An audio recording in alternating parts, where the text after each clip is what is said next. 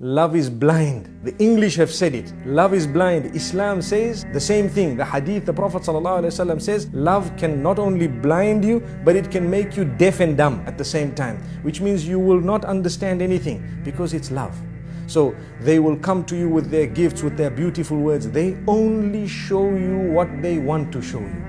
And in the process, what happens? We tend to think this is them. We have not yet lived with them. We don't even know their family. We don't know what their family thinks of them. We don't know what the friends think of them. And this is why the introduction was wrong in the sense that we haven't yet understood the whole person and we're so much in love with them, we cannot wait to get married. So we think, let's get married. We put pressure on our parents and everything, say it were to happen, and we ended up marrying. The second day, if not the first, we're already complaining, this is not the same person I married. This is not the same person. Look at him. He's vulgar. No, he is the same person, but he didn't show you what he didn't want you to see prior to getting married.